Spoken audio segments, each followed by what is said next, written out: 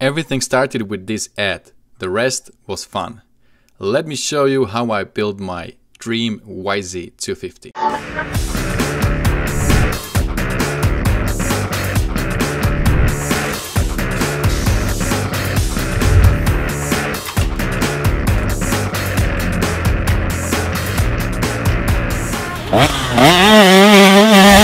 So this is it, huh? This is her.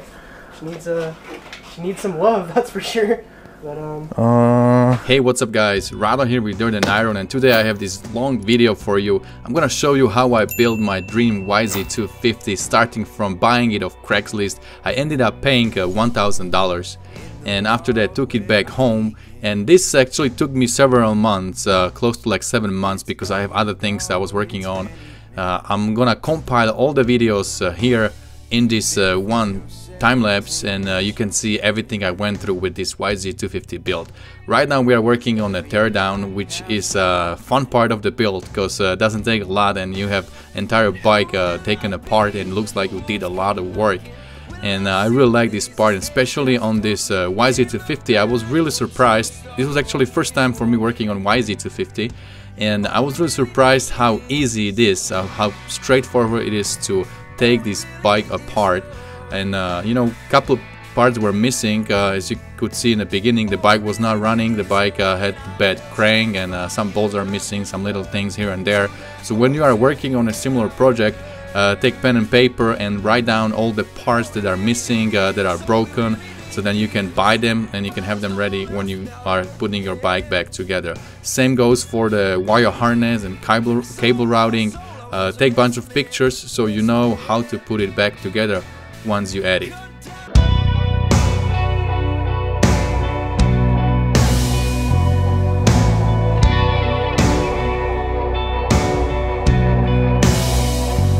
In the world where I began, it's dog eat dog, it's man eat man. Fend for yourself, take Cause every pack has their own plan. And who will I be when the wolves come knocking? Will I see that it's a snake that's talking? Can't look back once you start walking, walking. When all we really need is, all we really need is love.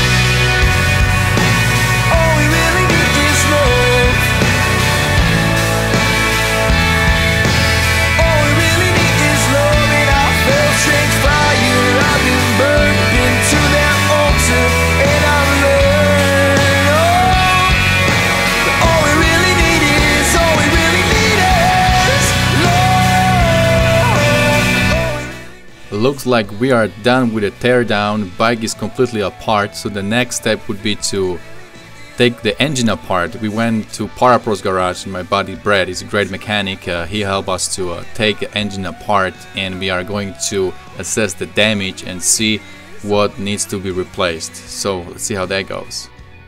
Uh, Alright guys, so uh, we are only at the top end and we already found uh, three things that we need to fix. The power valve, Yep. uh, actuator was this thing right here on the side was broken. Then we need to replate the cylinder and our bottom end is shut completely. So let's keep going, open this puppy and see what else uh, is waiting for us over there. They say it was truth that I was sold. But the trouble with truth is it just don't get old. There's a gravity to grace I can't escape. And the trouble with grace, it gives more than it takes. Yeah, I need grace that gives more than it takes. There's a wildfire that's burning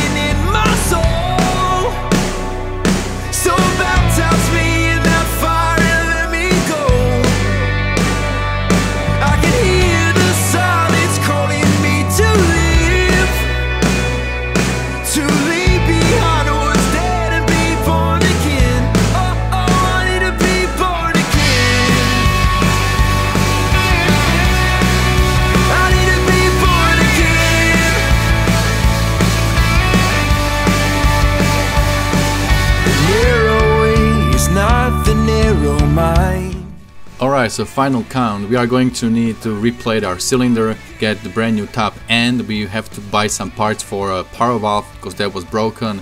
We need new crank, all new bearings and seals, and we need new clutch. So we're gonna get the full Hinson setup for this build.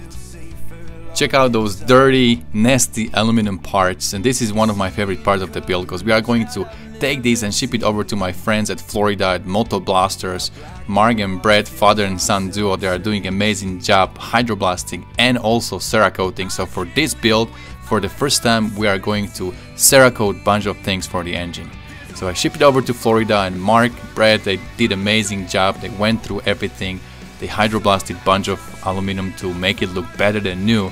And also, as I said, for this build, we did a lot of cerakoting. We decided to go with the burnt bronze color. Hopefully, everything will look amazing. I'm blown away how beautiful it looks.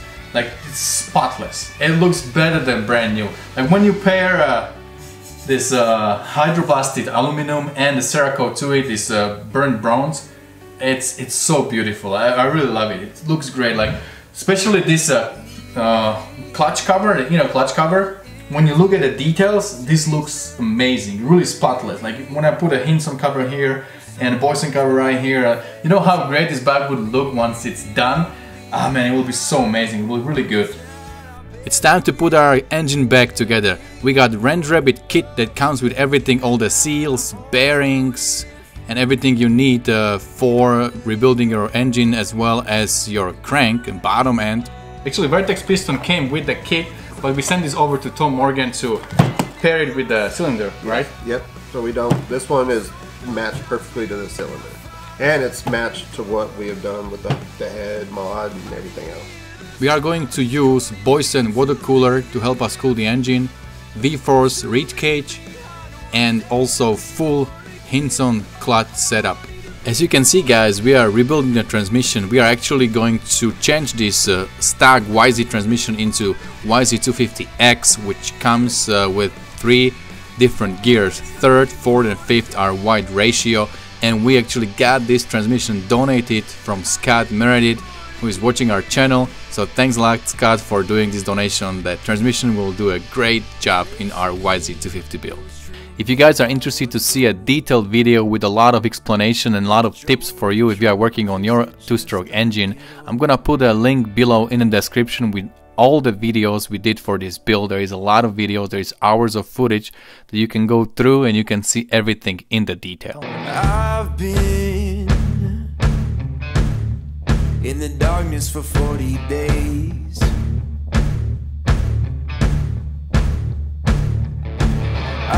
I've been searching for holy flames, a sign to light up the way. So can you help me out? Can you help me out?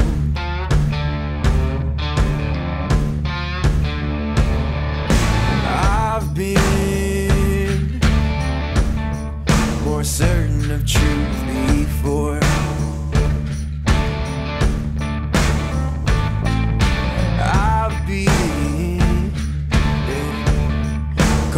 Righteous man before.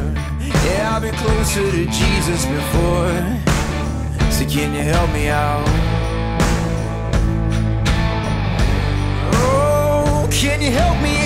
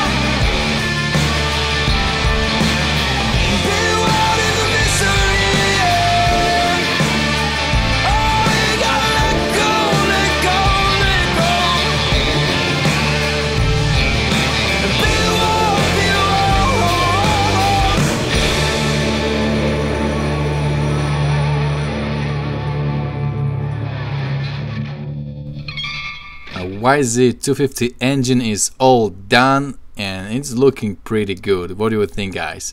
As you can see we are also using Smart Carb SC2 so this build will be powered by the new technology from Smart Carb. Well, next we need to rebuild the bearing so the bike feels all brand new again. So for that I visited my friend John and he helped me to press out the old bearing from the steering stem and press in the new bearing. I'm using factory links bearings and as you can see it's very simple to do it if you have good press. Uh, it took him all like 3 minutes to do a entire steering stem uh, bearing replacement.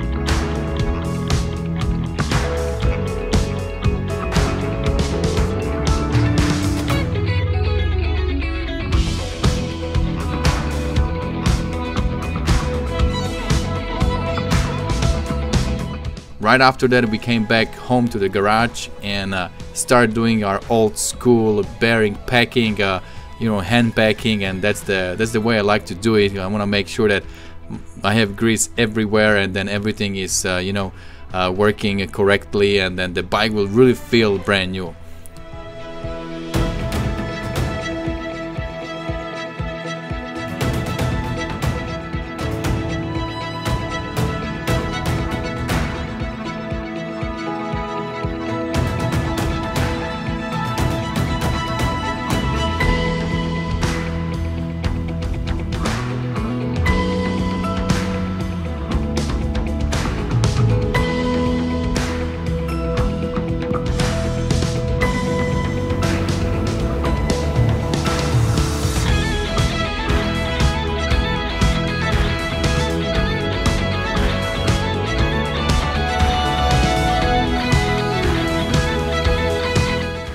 After that uh, we continue working on our bearings. So we're gonna replace all the bearings in our swing arm again using uh, factory links bearings for the swing arm. Uh, my friend Dallas came over. He helped me to uh, press these bearings in. It's a little bit easier if you have four hands because uh, you need to uh, hold the swing arm the bearing and then you need to drive it in simultaneously. So it's it's better to have somebody to help you. But before on my other builds I did it always alone.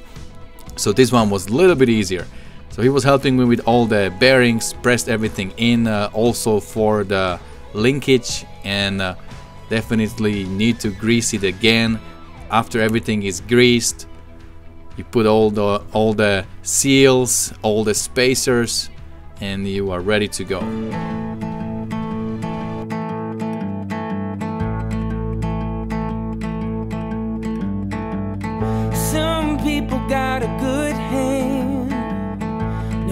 Wondering if they can. But I've been fighting what I'm feeling, needing something to believe in. Oh, lift me up, lift me up from the valley. Oh, lift me up, lift me up from the storm. Oh, lift me up, lift me up from the valley.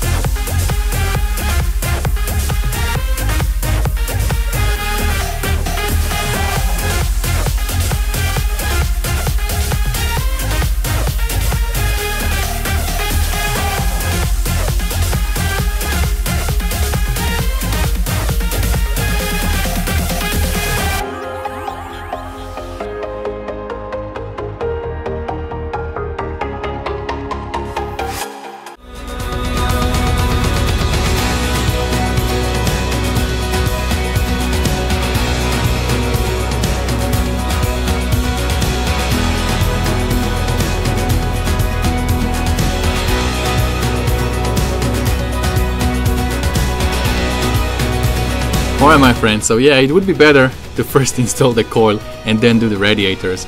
You know, this is my first YZ and I didn't really realize that uh, I will run into this issue. On a KTM, your coil is above the engine, so it's very simple to install it. Now, I was still able to do it here. I didn't have to remove the radiators. I could just uh, place it in between and then, uh, you know, put my hands in there and I was able to tighten it. It just took a little more time. Also, I had to loosen up my right radiator just a little bit to be able to fit in the wire harness and, you know, continue connecting all my wires there.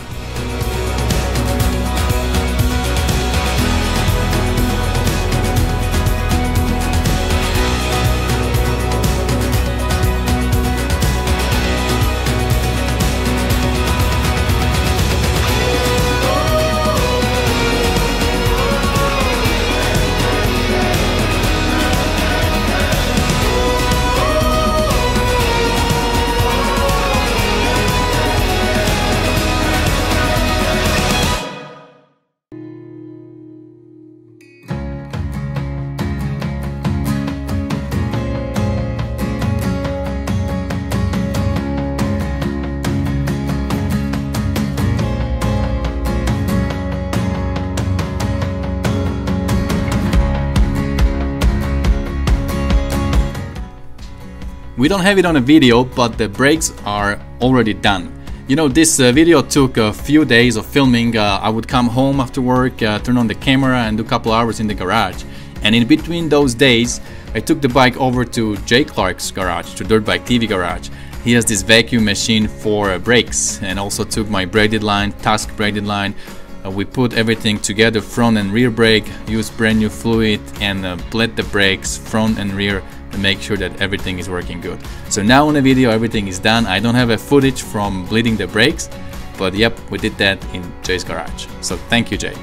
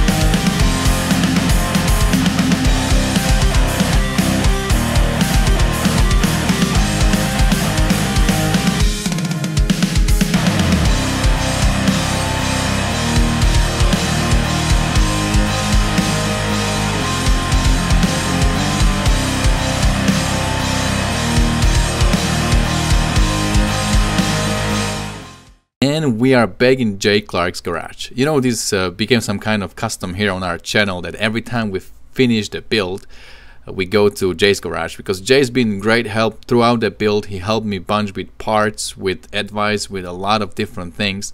So uh, I think it's uh, proper to go and finish everything up in his place in Dirtbike TV garage. And you know, we went through everything through the fork heights. Then uh, we also uh, torque everything to the specs. Uh, you maybe never seen uh, the torque wrench on the video before but hey we have it and we use it all right so we finish everything in jay's place as i said. We install the plastics and we make sure that the bike is tip top and ready for really good testing because right after this we are going to give the bike to dirt bike magazine and they will do their testing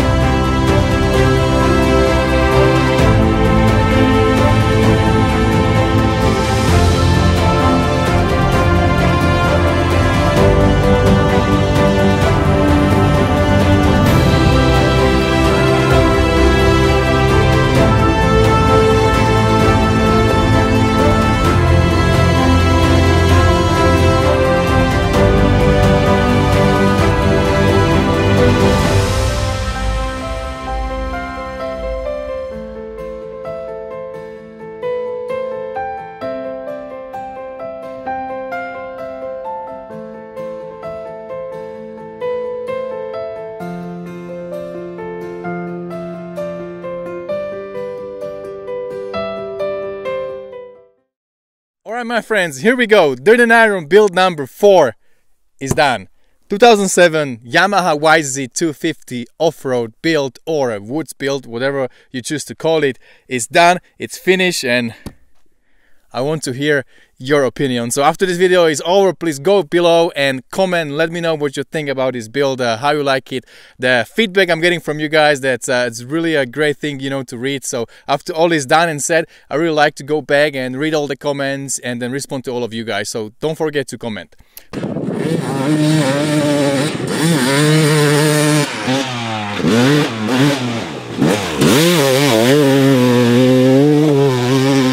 Hey, what's up guys? Rado here with Mark Tilley from Dirtbike Magazine and both of us, we had quite some time on this uh, YZ250. We want to give you perspective from two different angles. Mark over here from the Pro Rider and I'm here the Weekend Warrior.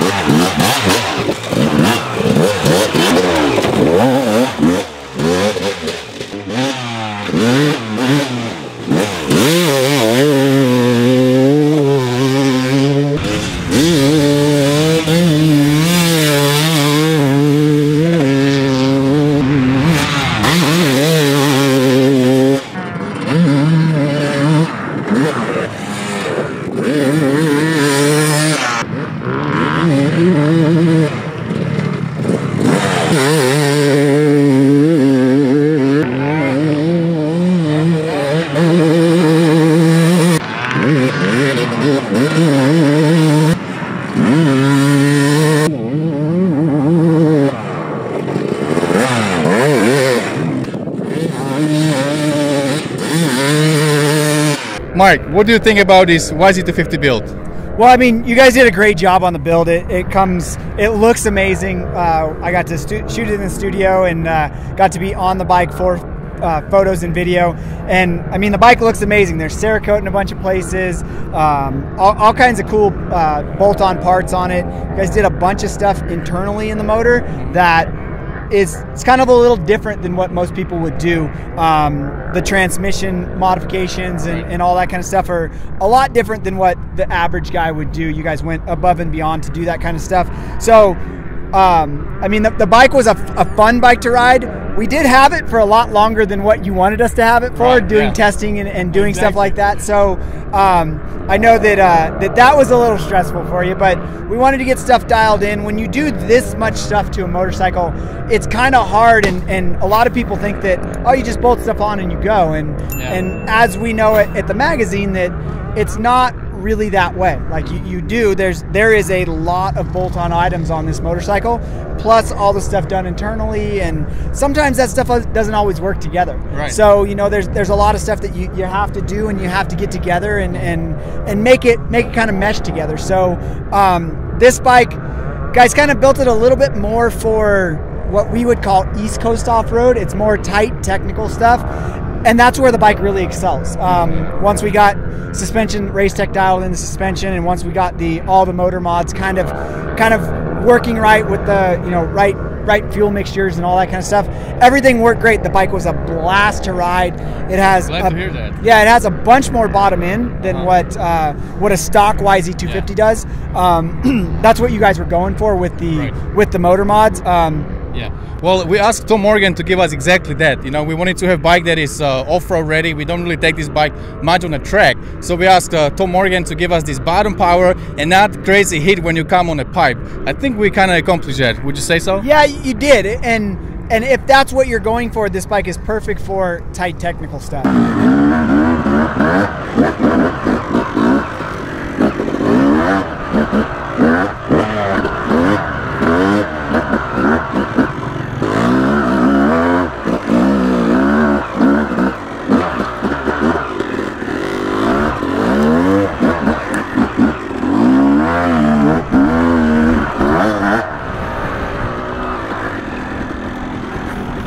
These are some nice trails.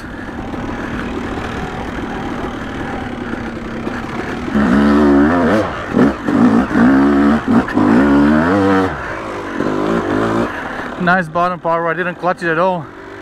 That was pretty good. So Morgan porting for the bottom power is good.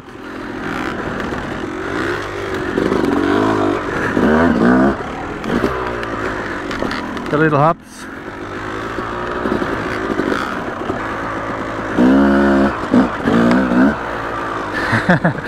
this is cool, check it out.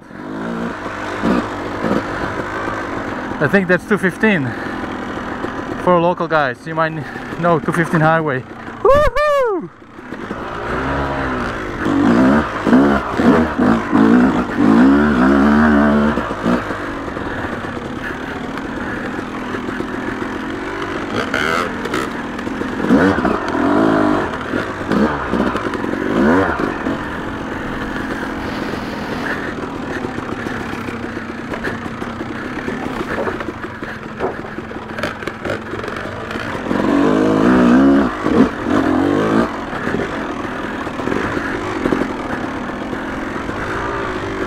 Mark, thanks again for uh, doing this uh, with uh, with us here uh, on the channel, and thank you for uh, featuring the bike on the cover of Dirt Bike magazine. I was really, really stoked, grateful to see it there, and the story uh, Mark wrote about it is, really great. So I really appreciate it. hopefully, work together more in the future. I have more bikes to come, so guys, stay tuned. We're gonna have some fun with Mark together in the future. All right, Mark. Yeah, sounds good to me. Thank you for uh, letting Dirt Bike Magazine be a part of it. You can go to our website and see the Two Stroke Tuesday on this, and then the the full video um, from Travis Fant will come out on our YouTube channel on dirtbikemagazine.com as well. Um, and then, uh, so like I said, if you want to see more on this motorcycle, the full story will be available on the website once the magazine goes off of the newsstands. Um, so it's dirtbikemagazine.com um, and it's usually in in a two-stroke or in the features.